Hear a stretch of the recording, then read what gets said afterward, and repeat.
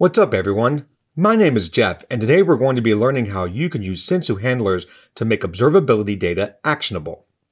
In this video, I will introduce you to the concept of Sensu handlers and we'll be configuring two types of handlers, an alert handler and a metrics handler. This lesson is intended for operators of Sensu and assumes you have already set up a local workshop environment. So if you still need to do that, go check out lesson 2 and get your workshop environment configured. As always, this entire lesson with code samples is available on GitHub as part of the Sensu workshop. Links are in the description. Let's get started by defining what a Sensu handler is. Handlers are actions that the Sensu backend takes using observability data as inputs.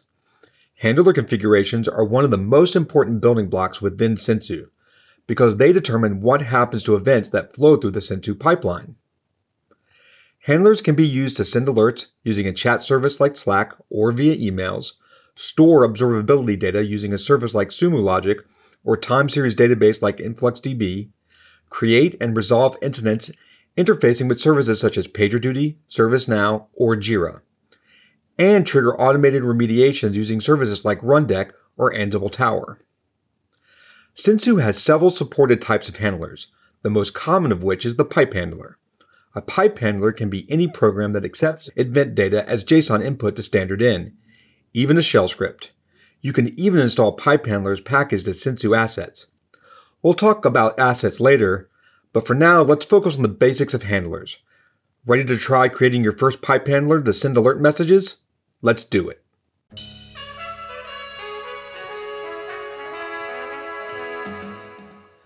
Here's the scenario. Your SRE team primarily communicates via a chat app like Slack or Mattermost. They want to receive alerts as chat messages. We'll solve this by defining a Sensu handler resource that will forward messages on to Mattermost. Because Mattermost is API compatible with Slack, we can use the Sensu Slack Handler plugin to send alerts to the Mattermost service already up and running in the workshop environment. To save time, we can copy and paste a working handler definition from the online lesson plans. Let's copy the handler definition into a file called mattermost.yaml.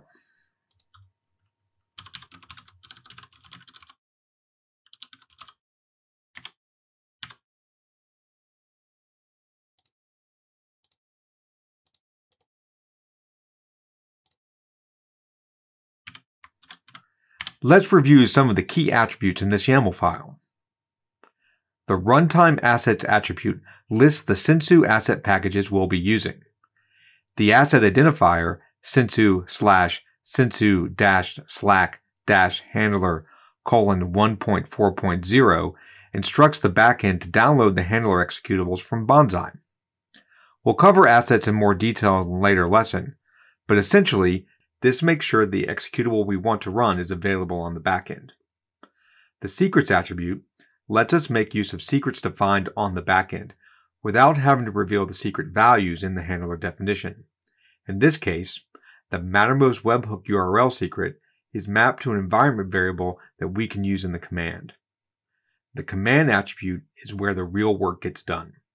This attribute holds the needed executable call, including optional arguments. Here we'll pass the webhook URL argument via the environment variable that was created in the secrets attribute. The description template option makes use of an advanced Sensu feature called handler templating. It's using information from the Sensu event to customize the alert message text. Okay, let's create a new handler definition with sensuctl Create. We can verify it was created using the sensuctl handler list command. If you see the Mattermost handler in the output, you know that it was successfully registered. Let's leave that there for now. We'll come back to this in the next lesson and show you how to use it. Next, let's prepare a handler that can store metrics.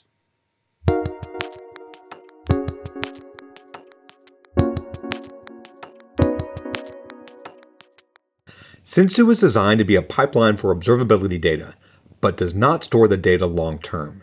If you want to keep a historic record of the data, a handler can be used.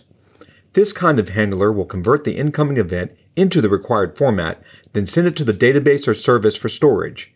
In Sensu, observability data is modeled as events, but only some events contain metrics as part of their payload under the metrics property. Handlers can apply a filter to ensure they only operate on matching events. There are some built-in filters available for common use cases, or you can write your own using a JavaScript-based Sensu query expression. In this exercise, we will use the built-in filter hasMetrics to ensure that only events with metrics are processed by the handler.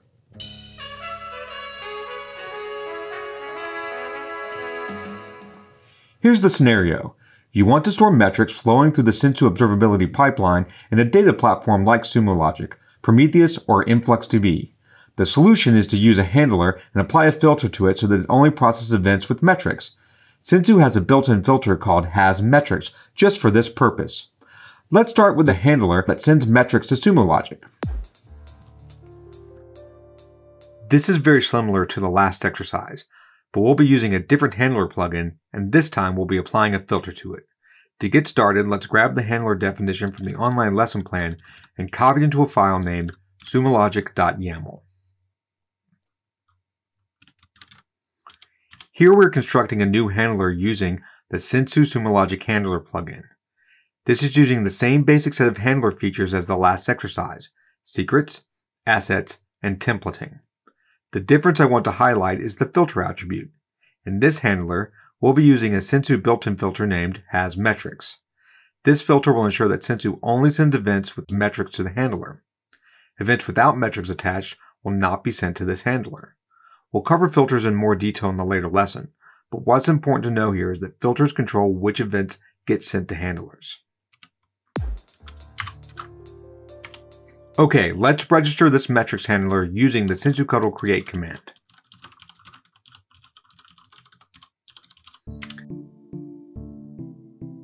And let's verify that it exists with the sensuctl handler list command. We see that the Sumo Logic metrics handler is in the list, and that means it's ready to be used to process events. I think that's a good place to stop for now. We'll start making use of these handlers in the next lesson. Okay, let's wrap this lesson up with some discussion.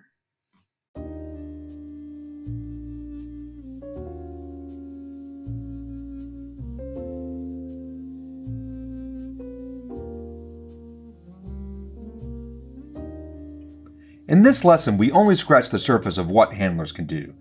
You learned how to create a handler using a YAML file, use handler templating to format the event data, use built-in filters, referencing runtime assets installed from Bonsai, and view a list of running handler configurations. Great, but where do handlers run exactly?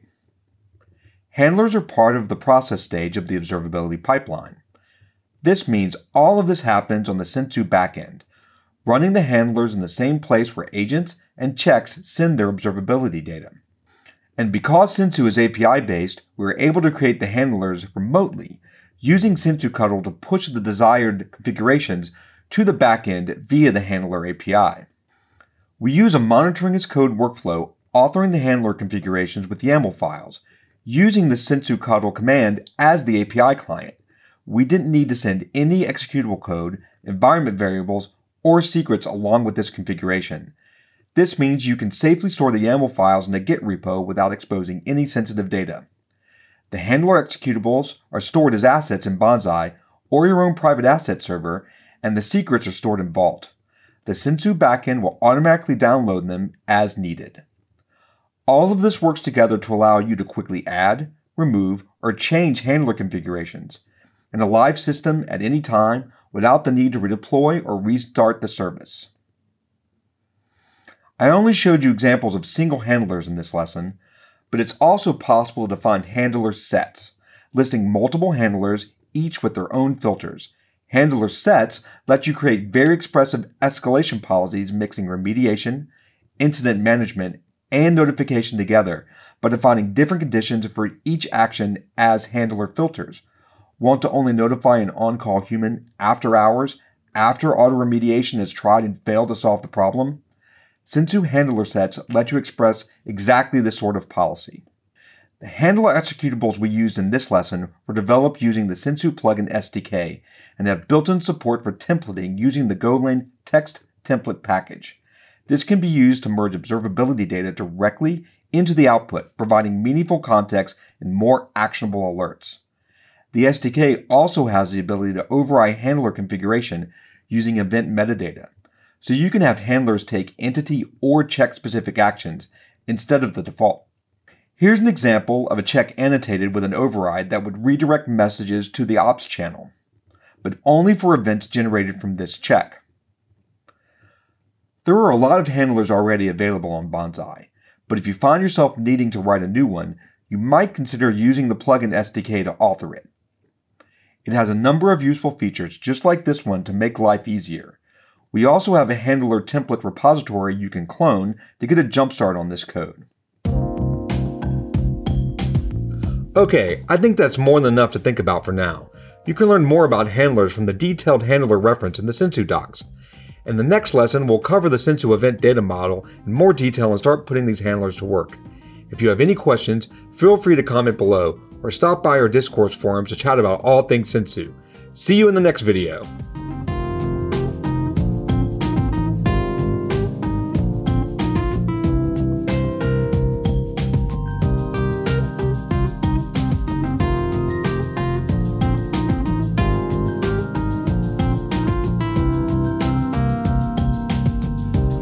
I'll do it. I'm gonna get it. Doodle model. I'm so intent. yeah. Thank you, Red Bull. Right, right, right, right, right. Uh, um, easy there, killer. Damn you, Easter Bunny. Hello, my baby. Hello, my darling. Okay. Ah, monitor configuration. Start over Need to get through it now. Yeah, yeah. Just slow down, pace yourself. How dare you, sir? How dare you, sir? One more. I think we're gonna be good here. Wow. wow! And done.